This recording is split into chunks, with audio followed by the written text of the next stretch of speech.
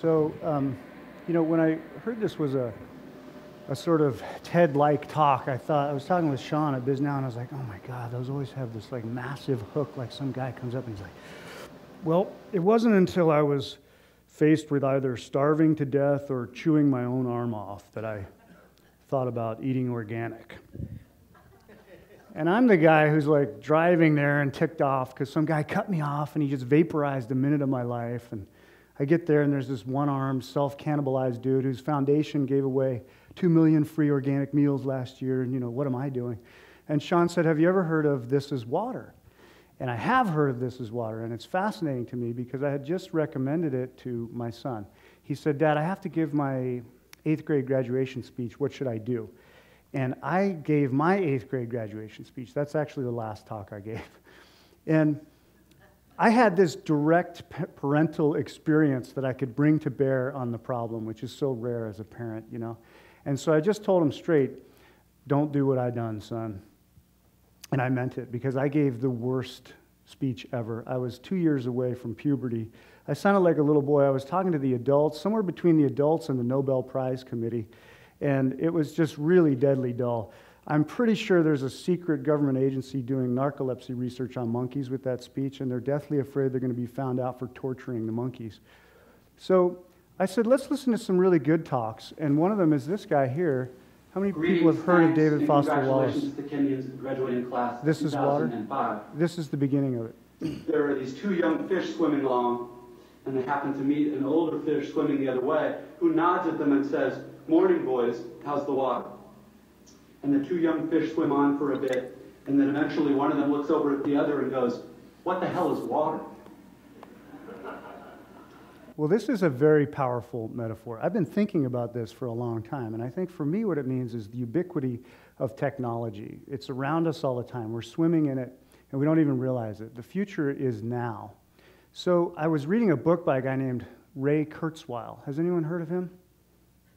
By the way, I'm not asking you this to make you look dumb, I'm just curious. The singularity, has anyone heard the singularity? Okay. In math, it's kind of a point at a limit, like 1 over 0 is infinity to a mathematician. In physics, it's a black hole. We don't know what's going on behind the event horizon. In AI, it's the part where the machines get really smart and can think. And I know what you're thinking, like, do humans think? And the answer is, I think so. Um, one of my little guys said to me one time, this is true, uh, Dad, do you ever talk to yourself? And I said, Oh, God, he's going crazy just like Grandpa. But I said, Sure, buddy, I talk to myself all the time. And, and he said, No, no, I mean without saying anything. I said, Oh, thinking. Yes, yes, we do that. Yeah. So the way that uh, Kurzweil gets there is through three technologies converging GNR genetics, nanotech, and robotics. So I'm going to jump right into genetics. The key is it's a digital alphabet, okay? So you want high fidelity reproduction, you can't make a tape of a tape of a tape.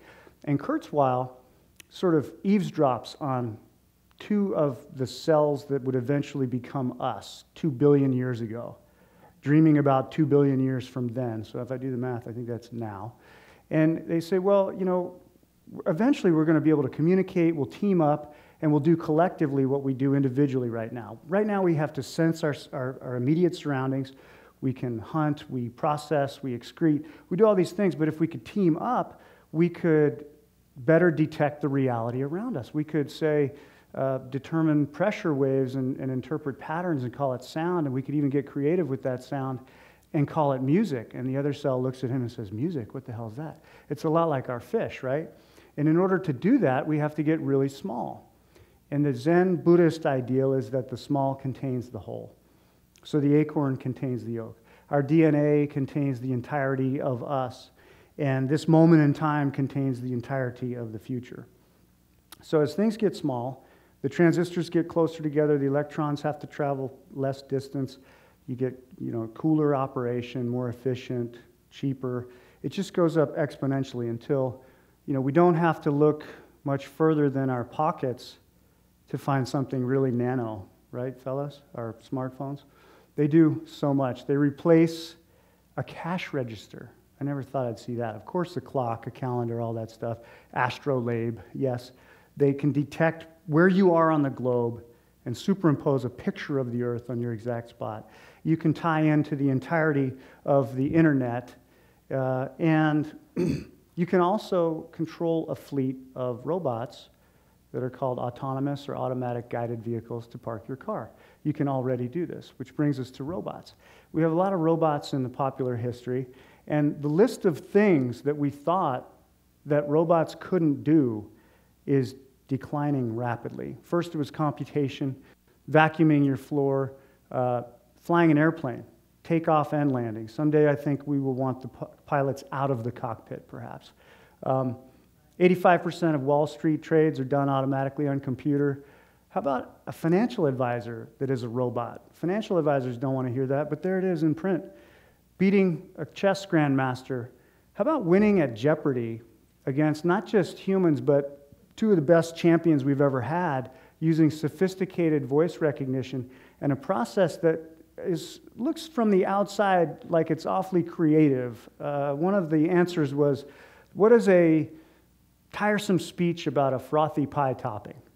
And Watson's answer was a meringue harangue. And I'm pretty sure Watson would call this a boomerang harangue. But um, AGVs are a special type of robot. You basically get the person off the forklift, you can change the form factor. Now the forklift just goes under the payload and lifts it up. And they're ubiquitous. They're everywhere, we just don't know it. Every time you order something on Amazon, that's the Harley Davidson factory in the upper right. I wish they would load a few more mufflers onto their AGVs. Uh, that's an engine block being delivered. There's Boomerang's AGV. Uh, I'm not going to talk about it much, but the one thing I will say is it's free range and it's locally sourced. It's the only one that's made in the US and Utah, and it's highly inorganic. My favorite is the Google driverless car. If you'd asked me, you know, when I was in high school 30 years ago, uh, today, how many miles would be the over/under on uh, you know driving around real terrain without incident? I would stretch my brain to try to get to maybe one mile. In fact, it's a million miles in really complicated terrain like uh, Lombard Street in San Francisco, Golden Gate Bridge, around Lake Tahoe. And the one thing that they can't do, interestingly enough, this is true, is negotiate a parking lot which gets me to the problem of parking. This guy, Burt Swersey at Rensselaer Polytech, teaches design. And in this article in the New Yorker, he says something really interesting to me. He says, Don't bring me an idea, bring me a problem. And if the problem is worthy, then the idea will be. And I think that's right because a, an idea without a problem is kind of the province of late night TV. It's like a Chia Pet or a ShamWow or something. But we all know that the problem of parking is real. And I don't even have to tell you why you might like to say, see that your car is 10 minutes out in the queue and then just call for it when you're 10 minutes out. But it's a problem for land planners and designers too, because no one wants acres of asphalt. And no one wants a cityscape blighted by louvered canyon walls. So it's a problem for developers. If you can save uh, half of your excavation, by the way, the bottom half is the most expensive half, if you could perhaps regain FAR below your height and bulk limit above ground, maybe even get rid of human labor. I'm an investor in a parking garage in San Francisco, and I talked with my operator. He has a garage where for 200 spaces, his labor cost is 80 grand a month. Between that and claims, that's a million bucks a year, so it's really a three or four cap, call it a five cap, it's 20 million bucks in exit value created with a four or five million investment day one. You can't do that with any other building system decision, whether it's MEP, HVAC, or even clean tech like solar panels. They just don't have that kind of payoff. So in Miami right now, we are solving these problems for real. Uh, 480 cars, 12 stories, and a 56 story condo tower. And we're finding other problems to solve. Um, to, the big problem of buildings is stuff. It's kind of a dual problem, right? If you live in a tall building, you spend two grand per square foot for your space. Do you want to store you or your stuff? You have to get rid of it and you have to store the rest. Well, in a building like this, if you're the designer, do you want to design it so that a trash truck can get in? No, you'd rather have an AGV take the trash out. And that's exactly what Boomerang is doing in this building. It's not something they ever thought it would do. The other thing is storing stuff. You could have a pod for your holiday decorations and your ski stuff, which is on hiatus during the seven year mega drought. And you can recall that storage pod anytime you want. Now, I live in an apartment building myself in San Francisco. And I was going through my garage and I found a box of cassette tapes, and I nearly threw the whole box out, but one was marked Brian's eighth grade speech. And I got a chance to actually play it for my boys, and they laughed like a room full of monkeys, I got to tell you. But it was like a message in a bottle from the past. And you can see from this picture just how dire my situation was in the eighth grade. Uh, and, and here's, here's my actual I'd like to tell you speech. Experiences that I have had, which made me think a great I deal about never heard my voice as a kid before. A famous anthropologist, 33 years ago. Ralph Linton, said, "It is scarcely a fish that discovers the presence of water." I had no idea I said that. I really didn't. I was shocked when I heard it. And I think to that little boy, the future is now, and we are swimming in it and enjoy the water. Thank you.